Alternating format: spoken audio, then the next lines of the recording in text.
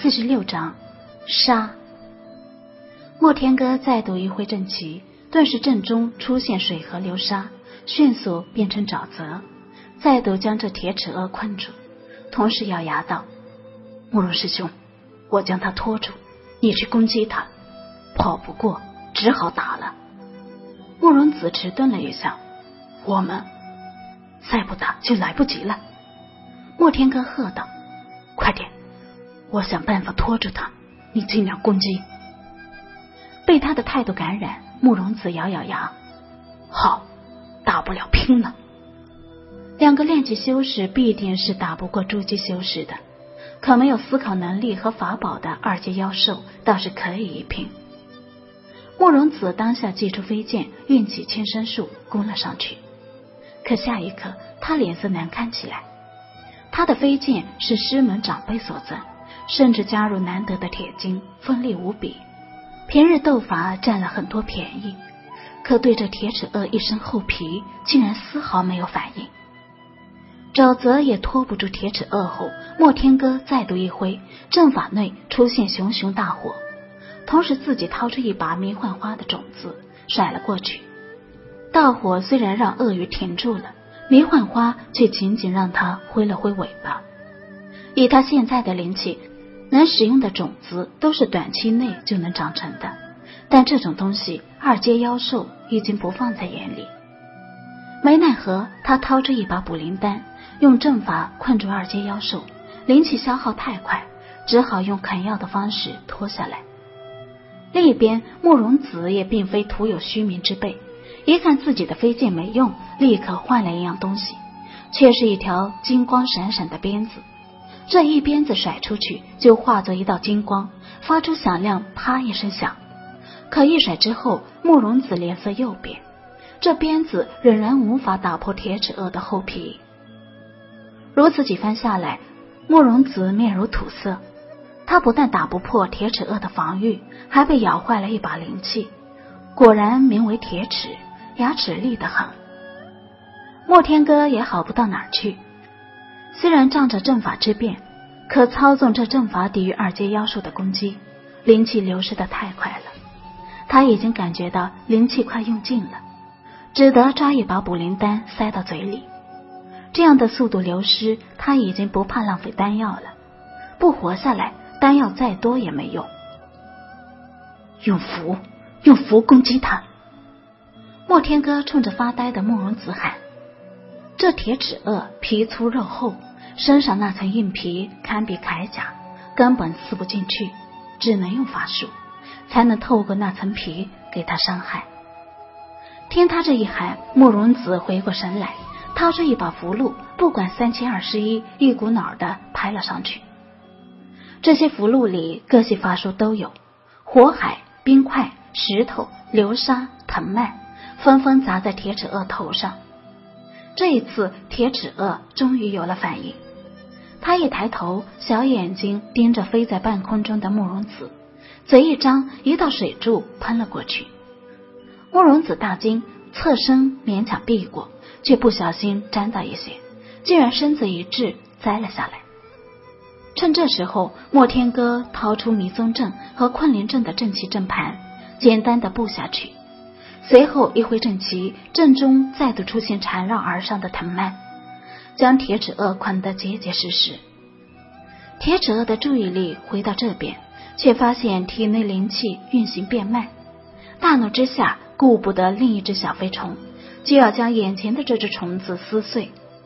可他往前一爬，眼前一变，竟然找不到那只小虫子的存在，顿时迷茫起来。看到慕容子还没爬起来，莫天哥焦急。慕容师兄似乎听到了他的声音，慕容子挣扎着往嘴里塞了几个药丸，艰难的爬起来。他本来就重伤在身，使用灵气和轻身术已经很勉强，偏偏又被铁齿鳄的水柱射到。这里是毒泉，周围的东西都是有毒的，何况在这里境界二阶的妖兽。铁齿鳄的毒比毒物可强多了，一下令他的伤更重。顾不上别的，他吞下几颗疗伤药和解毒药，挣扎着飞上去，手一扬，一把细密的飞针往铁齿鳄的眼睛扎去。铁齿鳄眨眨眼，一甩头，一部分飞针被他甩开，另一部分扎在头部的厚皮上，一点反应都没有，纷纷掉了下来。慕容子没有放弃，仍是大把的甩过去。昆仑阵中，铁齿鳄灵气运行变慢，终于没有避过，噗一声，眼睛被扎破了，顿时大怒，仰天发出咕噜咕噜的声音。莫天哥一喜。当下又往嘴里塞了一把补灵丹，正极一挥，阵中火海砸下，地面晃了一晃。被数次法术攻击之后，铁齿鳄那层厚皮终于出现灼烧的痕迹。慕容子没有放过机会，再度取出飞剑，对着被烧破的那一块一剑刺了过去。这一下刺得结结实实，破开的铁齿鳄的表皮深深刺进肉里。铁齿鳄吃痛，一甩尾巴，一下打断泉边的一棵大树。可他始终找不到这些讨厌的小虫子在哪，眼睛里看到的始终是他栖息了几百年的毒泉的场景。不管怎么爬，仍旧会爬到原来的地方。眼睛流出血来，身体被法术砸得很痛，还有一个东西插进他的肉里，他痛苦的发出呼噜呼噜的叫声。可仍然找不到那两只小虫子，只有法术不断的砸下来。终于，他撑二阶妖兽实在比一阶妖兽强大太多了。那几十个妖猴，他能一点危险也没有的，就用五行生杀阵杀光。这二阶妖兽费了那么多力气，吃下那么多丹药，也仅仅只是困住而已。要不是有慕容子的帮忙，今天他就死定了。慕容子倒在不远处，动也不动。刚才他几乎把所有的符箓都丢出来了。铁齿鳄一死，他就倒地不起。莫天哥有些担心，再次吞了一颗补灵丹，勉强补回一些灵气，艰难的站起来，拖着沉重的双腿往慕容子走去。慕容师兄，慕容师兄。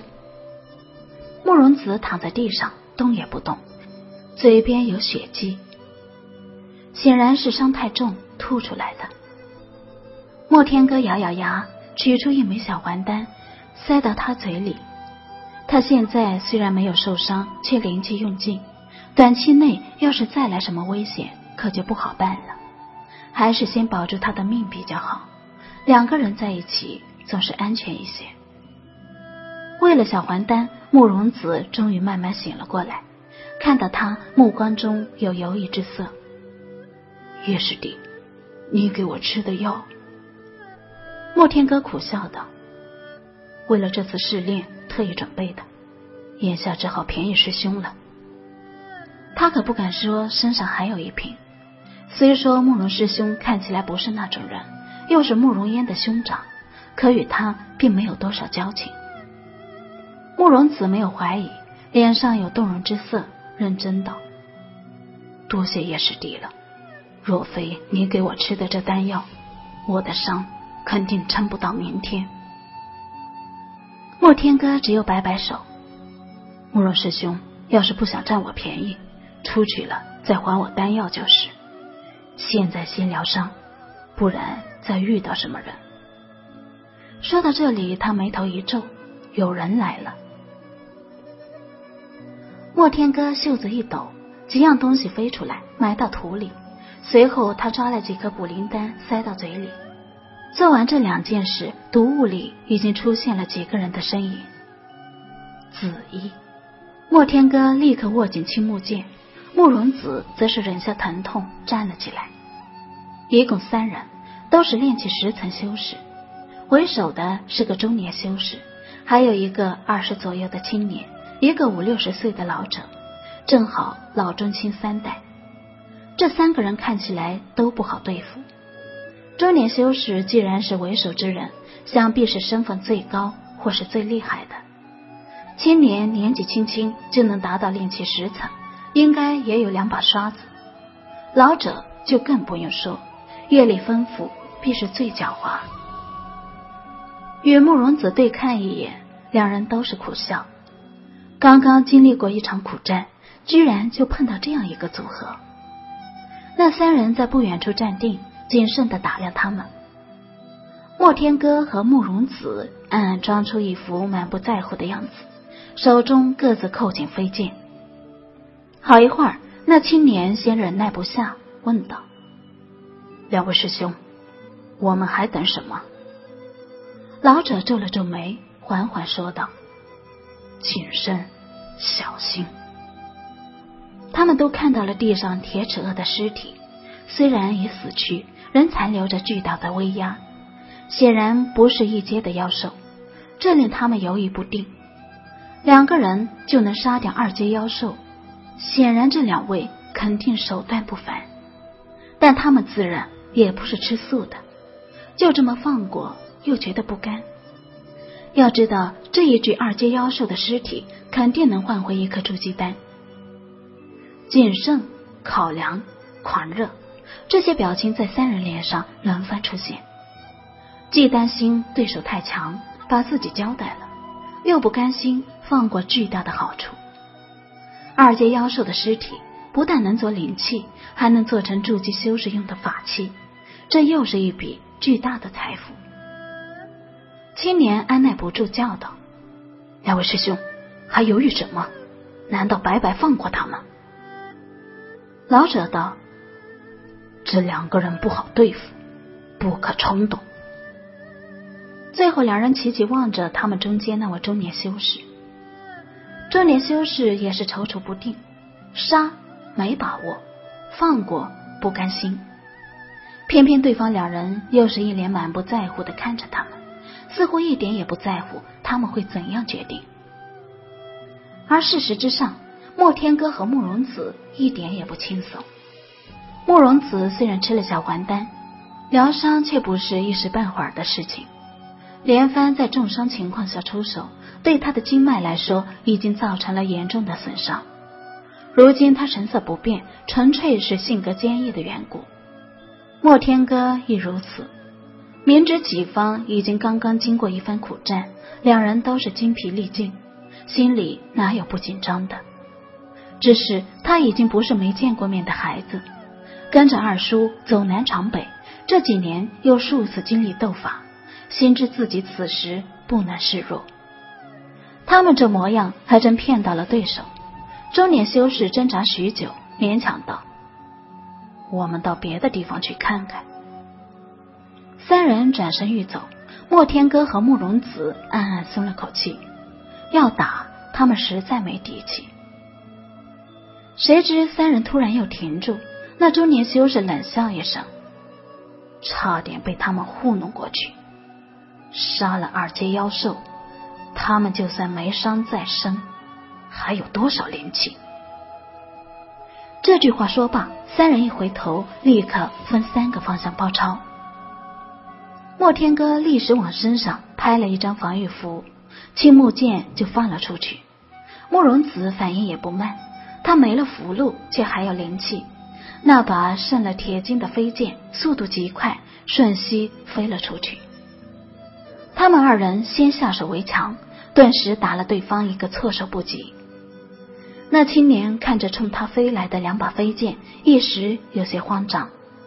这两把剑速度这么快，显然不是凡品，他只得匆忙躲避。莫天哥悄悄移了一下方位，大把的火荆棘种子甩出去，暂时困住了那青年。正要对慕容子说一声，先一起解决那老者。却听一声闷哼，转头一看，慕容子捂着胸口，吐出一口血来。他控制的飞剑也在半空中摇摇欲坠。莫天哥大惊：“慕容师兄！”那三人却是大喜，青年被困住，暂时不得脱身。中年修士与老者一看，两人齐齐出手。中年修士祭出的是修仙界最普遍的灵气飞剑，那老者扔出来的。却是一面镜子。莫天哥连忙召回青木剑，可仅仅挡住了那面镜子。飞剑急速刺来，慕容子勉强一避，飞剑插着他的肩膀过去，带起一串雪花。本集播讲完毕，欢迎继续收听。